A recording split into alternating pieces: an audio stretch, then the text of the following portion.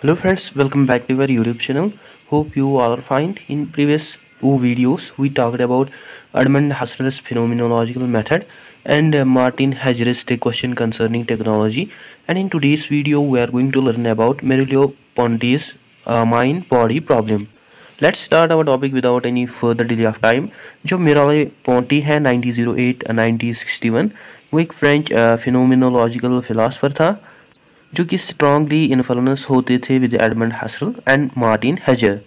और उसका जो मेन इंटरेस्ट था वो था in human experience with in their environment और उसने आल्सो लिखे about perception art politics religion biology psychology psychoanalysis language nature and history इसके अलावा वो एडिटर थे लेस टेम्पस मॉडर्निस के, जो कि मैगजीन था जिसको उसने एस्टेब्लिश किया with Jean Paul Sartre and Simone de Beauvoir in 1945 anyways जो सेंट्रल कंसर्न है मोरेली पॉन्डीज की फिलासफी का, वो डील करता है with foundational role of perception in human experience of the world और उसके अकॉर्डिंग जो परसेप्शन है, ये हमें अनगोइंग डायलॉग देखने को मिलता है between the individuals body and perception about the world जिसमें जो इंडिविजुअल्स होते हैं, वो परसीव करते हैं पैसिवली और एक्टिवली देन वो एक्सप्रेस करते हैं परसीव्ड वर्ल्ड को इन हारमोनी टुवर्ड्स अदर्स यानी जो भी वो परसीव करते हैं, उसको देन जो इंडिविजुअल्स होते हैं, वो एक्सप्रेस करते हैं। और जो मिरोले पॉन्टी थे, वो also one of the major phenomenologist था during the first half of the twenty century जो कि ऑल्सो एंगेज था विद साइनस और उसका जो एंगेजमेंट था साइनस में और उसकी जो राइटिंग्स थी, वो हमें इन्फ्लुएंशियल देखने को मिलती हैं in the field of naturalising phenomenology और ये जो नेचुरलाइजिंग फिनोमिनोलॉजी है, इसमें फिनोमिनोलॉजिस्ट यूज़ करते हैं result of psychology and cognitive science anyways जो मॉरिले पॉन्डी थे, वो फोकस करता था ऑन द बॉडी और उसके अकॉर्डिंग जो बॉडी है यह हमें प्राइमरी वे देखने को मिलती है, जानने के लिए वर्ल्ड को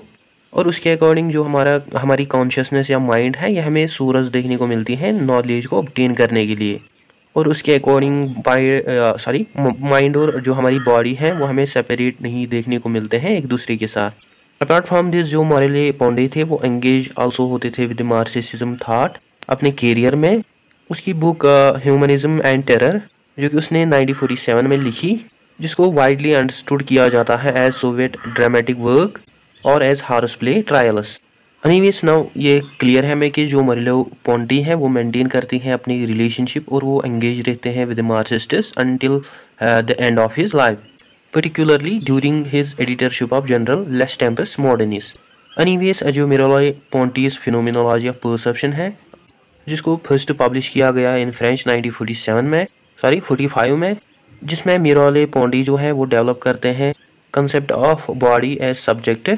that is le corps propre और ये जो कंसेप्ट है, ये हमें अल्टरनेट वो कंसेप्ट देखने को मिलता है डू दे कार्शनस कार्टिगो और ये जो कंसेप्ट है मिराले पोंटी का अबाउट बॉडी एज सब्जेक्ट ये हमें इंपॉर्टेंट देखने को मिलता है, जिसमें मिराले पोंटी जो है, वो परसीव करते हैं significant features of the world essentially और मिराले पोंटी के अकॉर्डिंग जो कॉन्शियसनेस या माइंड है, इसे हम परसीव कर सकते हैं वर्ल्ड को एंड ह्यूमन बॉडी को. और उसके अकॉर्डिंग जो वर्ल्ड और ह्यूमन बॉडी है यह हमें बहुत इंट्रिकेटली इंटिवेनेड और एंगेजड देखने को मिलते हैं in a mutual complicated manner और उसके अकॉर्डिंग जो फिनोमिनल थिंग्स हैं, वो हमें चेंजिंग ऑब्जेक्ट्स देखने को मिलते हैं नेचुरल साइनसिस के, जो कि हमें को रिलेटेड देखने को मिलते हैं हमारी बॉडी और सेंसरी मोटर फ़ंक्शन से. और मीराले पोंडी के अकॉर्डिंग जो हमारी बॉडी की फ़ंक्शन होती है, वो हमें इफ़ेक्टिव देखने को मिलती है फ्रॉम और जो कि हमें इफ़ेक्टिव फॉर्म देखने को मिलती है कंट्रोल करने के लिए वर्ल्डली थिंग्स और ऑब्जेक्ट्स को. और इस कंडीशन के अंडर जो वर्ल्ड और हमारी सेंसेस होती हैं, वो हमें प्रोमिनेंट फिनोमिनल प्रोसेसेस देखने को मिलती हैं बिकमिंग की। और मिराले पॉडी के अकॉर्डिंग जो एसेंशियल प्रेफरेंस है हमारी माइंड की about the viewers of things वो एक्ट करती हैं एज ए सर्टेन परस्पेक्टिव्स और सर्टेन मोमेंट्स जहाँ पे जो हमारी एसेंशियल प्रेफरेंस होती है, वो नैरो और पुट डाउन नहीं करती हैं रियलिटी ऑफ़ थिंग्स को। बट फ्रॉम अपोजिट साइज़ हमें कोई भी अदर वे नहीं देखने को मिलती हैं for things to be present with us but only through best chat again that is sketches objective figures और brief representative sketch at the same time वो कहते हैं कि जो थिंग है, वो पास हो सकती हैं या एग्जिस्ट कर सकती हैं beyond the limits of our view और इस केस में जो ऑब्जेक्ट ऑफ़ परसेप्शन होता है, वो क्विकली अटैच होता है विथ इट इस बैकग्राउंड और ऑब्जेक्ट ऑफ़ परसेप्शन से हमें आल्सो कनेक्ट देखने को मिलते हैं सीरीज़ ऑफ़ सॉरी ये जो ऑब्जेक्ट्स ऑफ़ परसेप्शन है ये हमें कनेक्टेड देखने को मिलती हैं through the series of linking with other worldly objects जो कि हमें सिमिलर देखने को मिलती हैं to this meaning relationship with other objects in other words में अगर हम कहेंगे कि जब हमारा माइंड जो है वो परसीव करता है ऑब्जेक्ट्स को और जो आ, हमारा माइंड होता है वो ऑटोमेटिकली को रिलेट करता है परसीव्ड ऑब्जेक्ट्स को विथ ऑलरेडी एक्सपीरियंसड और परसीव्ड ऑब्जेक्ट से। Anyways according to Merleau Ponty through the involvement in the world और through the being in the world जो परसीवर है, वो परसीव कर सकता है एक्सपीरियंसिस को ऑल परस्पेक्टिव से about an object along with it is surroundings and environment और वो आल्सो कहते हैं कि जो परसीवर है, वो आल्सो परसीव कर सकता है पोटेंशियल परस्पेक्टिव्स को, जो कि एक्चुअली ऑब्जेक्ट पॉजेस करता है। और इस केस में हर एक ऑब्जेक्टिव जो है, होता है, वो एक्ट करता है as a mirror of perception और our perception of object sorry object of perception और जो ऑब्जेक्ट्स के परस्पेक्टिव्स होते हैं, वो एक्चुअली डिस्क्राइब और स्केच आउट नहीं करते हैं क्लियर परसेप्शन को बट इंस्टीड जो हमारी परसेप्शन होती है अबाउट एन ऑब्जेक्ट वो यहाँ पे एक्ट करती है as an unclear perception because of unclear and unproper involvement और unclear understanding of our body about the world meaning as well as it is visible features so Merleau Ponty के लिए clear perception के लिए हमें coordinate करना चाहिए with environment so that के हम परसीव करें ऑब्जेक्ट्स को with all physical as well as visible features in order to define them more clearly but इस केस में जो हमारा अटेंशन होता है, वो डायरेक्टली ऑपरेट और क्लैरिफाई नहीं करता है, जो भी हमने ऑलरेडी देखा है एक्सपीरियंस करता, किया है। बट दैट टाइम जो हमारा एटेंशन होता है, वो कंस्ट्रक्ट और जनरेट करता है new organiser whole towards the particular object because Merleau Ponty के अकॉर्डिंग जो हमारी बॉडी इन्वॉलमेंट होती है विद थिंग्स वो एग्जिस्ट करती हैं फॉर प्रेजेंट जो कि एग्जैक्टली नोन नहीं है। इस केस में हम एनकाउंटर करते हैं मीनिंगफुल थिंग्स से in a whole manner in the world in the book structure of behaviour and phenomenology of perception जो मिराले पूंटी है वो एक्चुअली चाहता है दिखाना opposition towards the idea of John Locke की दैट इज़ कि जो परसेप्शन है, वो प्रोडक्ट नहीं हमें देखने को मिलती है ऑफ़ एटॉमिक सेंसेशनिस्ट और जो एटोमिस्टिस का कैजुअल कंसेप्ट है अबाउट परसेप्शन वो ये है कि जो परसेप्शन है, ये हमें प्रोलॉन्ग एग्जिस्टेंस देखने को मिलती है रेपिटेशन ऑफ़ इवेंट्स की स्पेशली इन बिहेवियर बिहेवियरिज्म और अकॉर्डिंग टू मिराली पोटी जो परसेप्शन है, ये हमें एक्टिव डायमेंशन देखने को मिलती है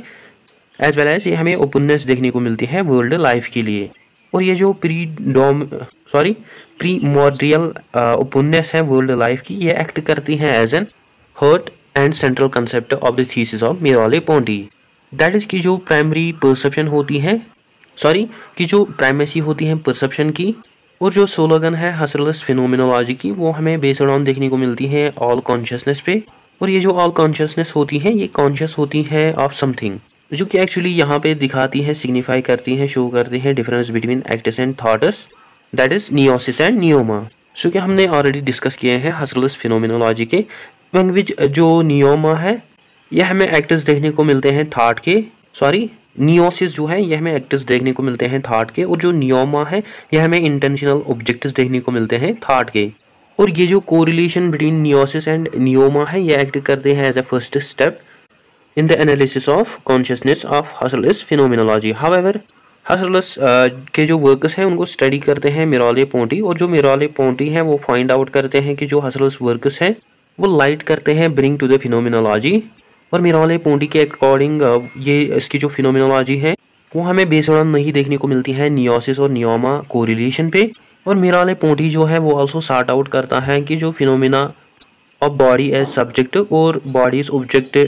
वो जो कॉन्शियसनेस ऑफ़ टाइम है, ये एक्ट नहीं करती हैं as an unconscious as well as objects of thought thus Merleau Ponty के अकॉर्डिंग हमें कोई भी डिफरेंस नहीं देखने को मिलती है between acts of thought noesis and intentional objects of thought that is noema thus Merleau Ponty के अकॉर्डिंग बहुत जो नियोसिस और नियोमा है, यह हमें अनसिम्प्लीफाइड और इनक्रेजिबल कंसेप्ट देखने को मिलते हैं। और मेराले पोटी के अकॉर्डिंग बोध जो नियासिस और नियोमा है, यह हमें हायर लेवल्स देखने को मिलते हैं एनालिसिस के।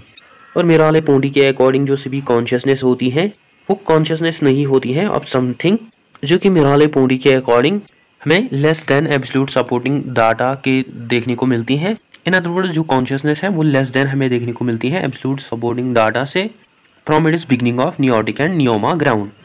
instead according to Merleau Ponty से भी जो कॉन्शियसनेस है, वो एक्ट करती है as an perception of consciousness और इस कंसेप्शन के थ्रू जो मिराले पोंटी है, वो सिग्निफिकेंट डेवलपमेंट लेड करता है into the field of phenomenology through indicating uh, conceptualizations and through re-examining these concepts in the light of excellence of perception. So so, जो Merleau Ponty है वो री examine rediscover करता है इन कंसेप्ट को और वो ऑल्सो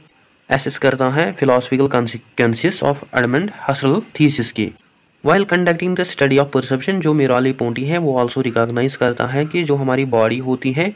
वो हमें खाली थिंग और ऑब्जेक्ट नहीं देखने को मिलते हैं स्टडी फॉर साइनस बट जो हमारी बॉडी है, ये हमें आल्सो परमानेंट कंडीशन देखने को मिलती है, हमारी एक्सपीरियंसेस की। और जो हमारी बॉडी है यह हमें आल्सो पार्ट और कंपोनेंट देखने को मिलती है वर्ल्ड की एज ए पार्ट देयरफॉर जो मिराली पोंटी है, वो एम्फेसिस करता है ऑन फैक्ट कि जो हमारी कॉन्शियसनेस है यह हमें परमानेंट देखने को मिलती है along with our body both जो है यह हमें बेस्ड ऑन देखने को मिलती है एनालिसिस ऑफ़ परसेप्शन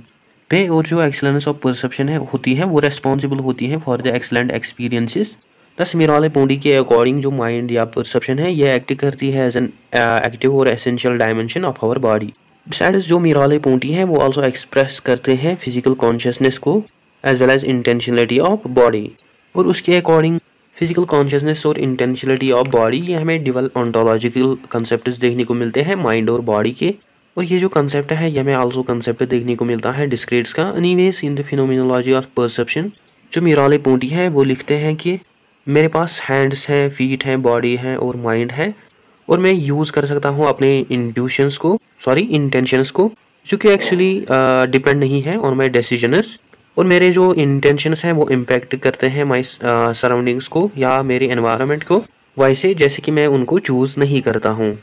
अनिवेज जो क्वेश्चन जो कि डील करता है with physical existence Merleau Ponty के अकॉर्डिंग जो स्पेस और उसकी जो डेप्थ है, वो आल्सो एसोसिएट करती हैं with the existence in the world as well as body और वाइल हाईलाइटिंग द फैक्ट कि जो नेचुरल एसेंशियल फ़िज़िकल एग्जिस्टेंस है, उसको हम एक्सप्रेस और प्रूव कर सकते हैं एज फंडामेंटल एनवायरनमेंट वो जो सेल्फ एस्टीम है, यह हमें वन ऑफ़ द कंक्लूजन देखने को मिलता है उसकी बुक में द स्ट्रक्चर ऑफ़ बिहेवियर और ये जो कंसेप्ट है, यह हमें कॉन्स्टेंटली देखने को मिलता है in the number of times in Merleau Ponty's earliest works और फॉलोइंग दिस कंसेप्ट वो ऑल्सो इन्वेस्टिगेट करता है कि कैसे ह्यूमन सेपरेटर्स बिगिन करते हैं अपने एक्शंस को, जो कि उनके लिमिट से बियॉन्ड होते हैं या उनके लेवल्स ऑफ़ बॉडी से बियॉन्ड होते हैं such as an intellectual operation और cultural dimension of life such as languages et cetera और वो केयरफुली कंसिडर करता है लैंग्वेज को as the core of culture और वो ऑल्सो लैंग्वेज को कंसिडर करता है connection between thought and sense और जो मीराली पोंटी है, वो एनरिच करता है language perspective not only in terms of analysis of language and adaptation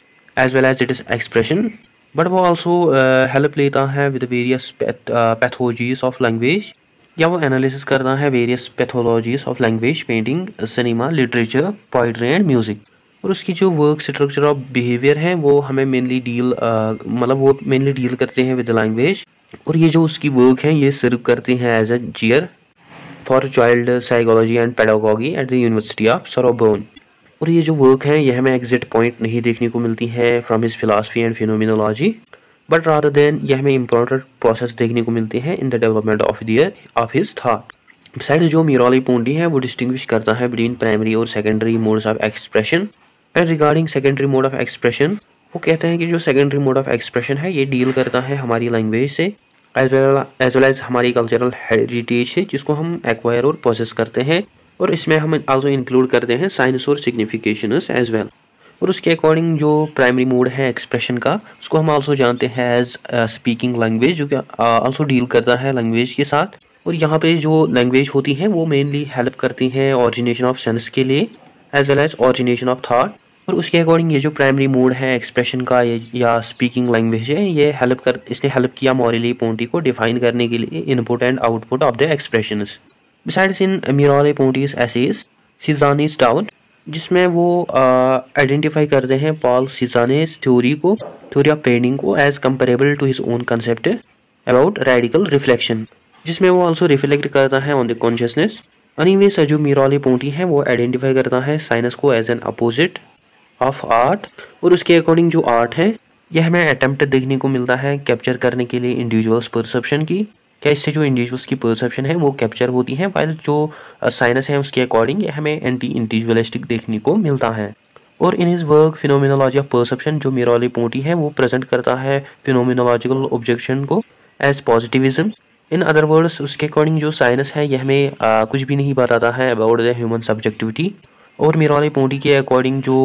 scientific texts होते हैं, वो खाली एक्सप्लेन करते हैं इंडिविजुअल एक्सपीरियंसेस को जो कि एब्स्ट्रैक्ट नहीं होते हैं। और मिराले पोंडी के अकॉर्डिंग जो साइनस है, वो रिजेक्ट करता है डेप्थ और डीप इनसाइटस ऑफ़ फिनोमिनास जो कि साइनस ट्राई करता है एक्सप्लेन करना। दस जो मिराले पोंटी है, वो अंडरस्टैंड करते हैं साइनस को एज एक्सपोज टू एब्स्ट्रैक्शन जिसका मतलब है कि जो साइनस है, वो एक्सप्लेन करता है परसेप्शन को in terms of theoretical phenomenas thus from this perspective जो मेराली पोंटी है, वो क्रिटिसाइज करता है साइंस को। सो गाइस ये था आज का हमारा टॉपिक अगर कहीं पे डाउट हो या कुछ हो तो आप कमेंट सेक्शन में लिख सकते हैं। और इसके अलावा आप मुझे डिफरेंट सोशल मीडिया पे फॉलो कर सकते हैं। और अगर आपको कोई क्वायरी हो तो आप कमेंट सेक्शन में लिख सकते हैं। Apart from this don't forget to share like and subscribe to discipline dark channel thank you for watching